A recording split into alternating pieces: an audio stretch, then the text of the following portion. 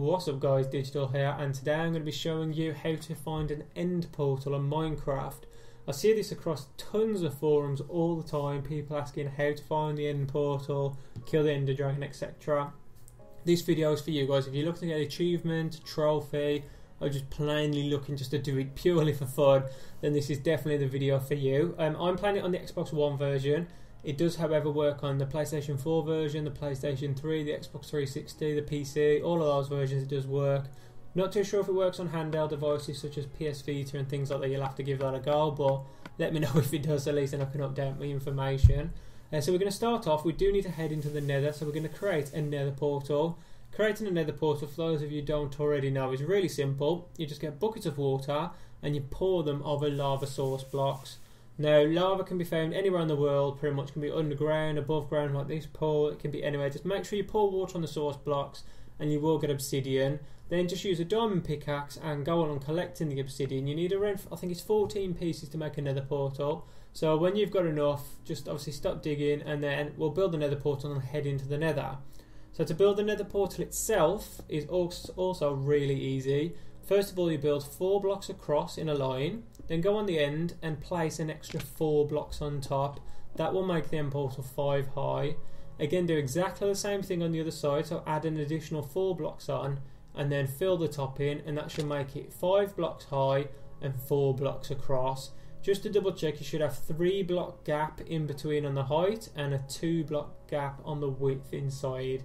That is a perfect setup for the end portal. If you don't have enough obsidian, you can leave the corners out if you like. Uh, that's if you really are struggling to get obsidian. But then just use a flint and steel. It'll go purple like that, and then just jump in, and that will teleport you to the nether. Right, so this is where we are going to be collecting materials and resources for the actual Eyes of Ender, which we're going to need to find the end portal. Firstly, you need to find one of these nether fortresses, which are easily distinguishable by the nether brick you just saw me mine up and place down. These are huge structures. You can find them in almost any nether. If you are really struggling, you can reset your nether, but they are really easy to find. And then you need to hunt down these floaty guys over here, which are called Blaze. Now, Blaze can be a bit tricky to fight. I'd recommend wearing some level of armour. As you saw, he did set me on fire, but we're after these Blaze rods. They don't 100% drop them. However, if you just stand like by a spawn, like I'm doing here, I'm pretty sure you'll be able to get them really quickly. It took me about five minutes to get all the ones I needed. It was very easy. I mean, I must have got quite lucky with them dropping and everything, but essentially just stand there and just keep killing them and picking up all the blaze rods. I collected 12, however, you only realistic, realistically need around 6. Now is the trickier part of it. We need to find Endermen. Endermen don't really have an exact spawn. They can spawn in the day, in the night, anywhere they want pretty much, and they can just be pains. But we need to kill 12 of them because we need 12 Eyes of Ender. That one teleported away as I hit him, so obviously I've had to walk across to collect his thing and managed to figure out where he was. But that's what he'll be dropping on the floor there, that Ender Pearl. Ender Pearls are just, they can be quite rare to get, so maybe save before you do actually attack the Enderman.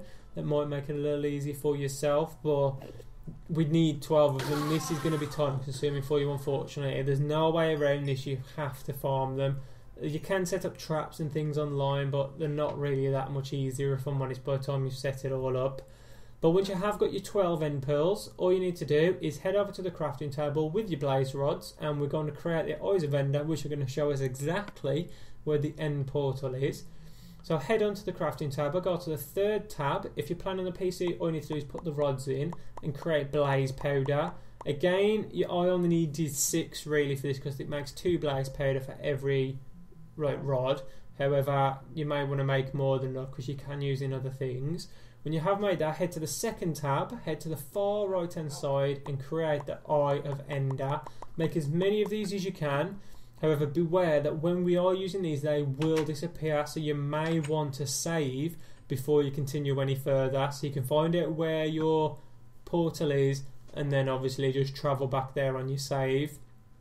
To use the Eyes of Ender is really simple. Just throw them in the air like I'm doing now, and they will start to head towards the direction that the end portal is in. Now, this direction could be really far away, and the Eyes of Ender don't always drop to the floor, they sometimes disappear. You know when you've arrived at your destination because the eyes will stop going any further. They will literally just keep going to the same square and then falling or destroying themselves like they are doing on the screen there. Then all you need to do is grab a shovel, grab a pickaxe, and start digging around because you're in the right area for your end portal. So hopefully you have found that video informative, guys. If you have, please give it a thumbs up. It is a surefire way to find your end portal, get yourselves that achievement, and obviously just find that dragon and kick his ass. So hopefully you have enjoyed the video, guys. If so, please give it a thumbs up, and I'll see you all next time. Cheers.